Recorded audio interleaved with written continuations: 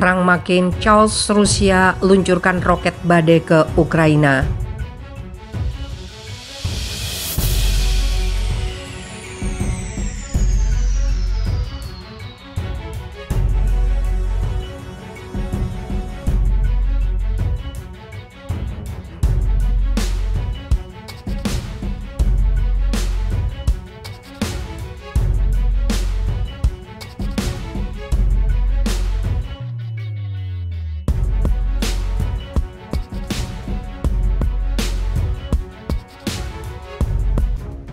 Perang makin chaos Rusia luncurkan roket badai ke Ukraina. Rusia dilaporkan akan meluncurkan sistem roket multi peluncuran badai ke Ukraina. Hal ini dirilis dalam sebuah video oleh pejabat Rusia sebagaimana dibuat media Inggris Newsweek. Sistem roket peluncur badai adalah sebutan untuk senjata Hurricane MLRS. Senjata itu disebut bisa mengetahui posisi operator kendaraan udara tidak berawak milik angkatan bersenjata Ukraina. Baterai Hurricane MLRS menerima koordinat posisi dari operator UAV Orlan 10 kendaraan udara tidak berawak kata Kementerian Pertahanan Rusia. Setelah menerima target baterai bergerak ke posisi menembak dan menyerang kendaraan lapis baja yang disamarkan dan benteng musuh. Sebagai akibat dari serangan itu kendaraan lapis baja, tenaga kerja dan artileri unit angkatan bersenjata Ukraina bisa dihancurkan. Rusia sendiri telah menyerang Ukraina sejak 24 Februari lalu. Hingga kini belum ada tanda-tanda perdamaian. Sementara itu seorang petinggi militer Rusia dilaporkan tewas tewas dalam perang melawan Ukraina. Ia menambah rentetan korban pejabat tinggi yang harus meregang nyawa akibat perang di sisi Moskow. Jenderal itu bernama Roman Kutuzov. Ia tewas dalam serangan udara di Donbas, Ukraina Timur, medan perang utama kedua negara.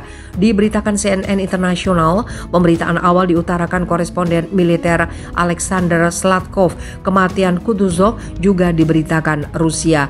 Ia juga diumumkan Pusat Komunikasi Strategis Kantor Panglima Angkatan Bersenjata Ukraina Mayor Jenderal Roman Kutuzov, Komandan Kop Angkatan Darat ke-1 secara resmi tewas, ujar militer di sebuah posting Facebook. Sebelum dikirim Ukraina Timur, Kutuzov menjabat sebagai Kepala Staf Angkatan Bersenjata Gabungan ke-29 Distrik Militer Timur Rusia. Ia juga dibenarkan wartawan independen Ukraina, Unian Roman Simbalyuk. Sejauh ini Rusia telah mengklasifikasikan kematian militer sebagai rahasia negara. Namun dari pantauan intelijen sejumlah negara setidaknya ada 1.351 tentara Rusia tewas sejak dimulainya serangan.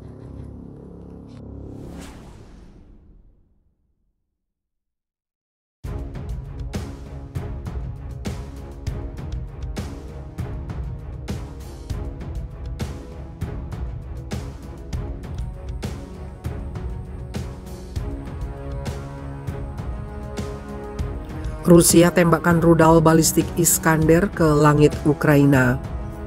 Rusia telah menembakkan rudal balistik Iskander tinggi ke langit-langit Ukraina yang kemudian menghantam target. Serangan ini dikonfirmasi Kementerian Pertahanan Rusia melalui rekaman video tembakan misil tersebut.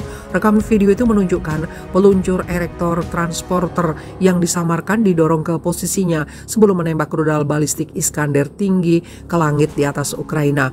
Video itu juga dipublikasikan media independen Zenger News yang mengaku memperoleh video dari Kementerian Pertahanan Federal Federasi Rusia, rekaman kerja tempur awak sistem rudal operasional taktis Iskander selama operasi militer khusus bunyi pernyataan kementerian tersebut. Angkatan bersenjata Federasi Rusia terus menyerang dengan rudal presisi tinggi terhadap fasilitas infrastruktur militer penting Angkatan bersenjata Ukraina.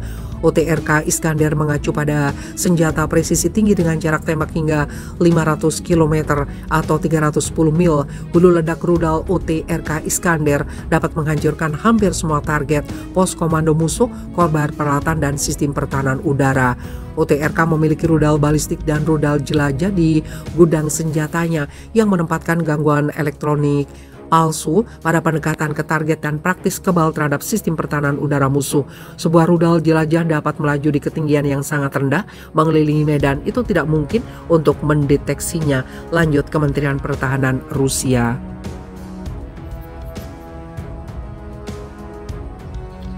Senjata itu bernama resmi 9K720 Iskander.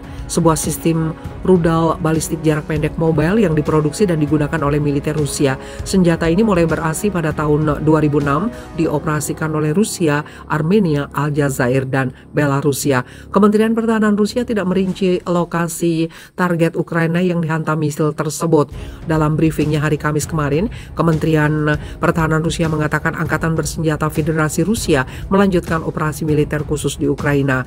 Rudal berbasis udara presisi tinggi telah menghantam 48 area konsentrasi personel dan peralatan militer AFU, Angkatan Bersenjata Ukraina, dua baterai artileri, dua depot amunisi di dekat Nikolaevka dan Berestovo di Republik Rakyat Donetsk pada siang hari satu pusat pengintaian elektronik Ukraina di dekat Neprosko, wilayah Mykolaiv.